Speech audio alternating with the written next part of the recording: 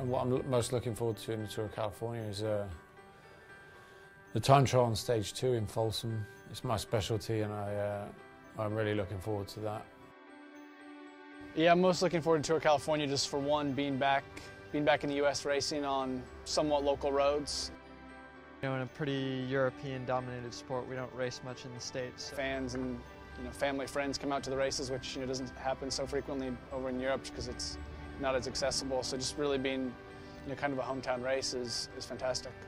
And how it compares to other races around the world, I think it's right there, up, up there now with one of the biggest stage races in the world.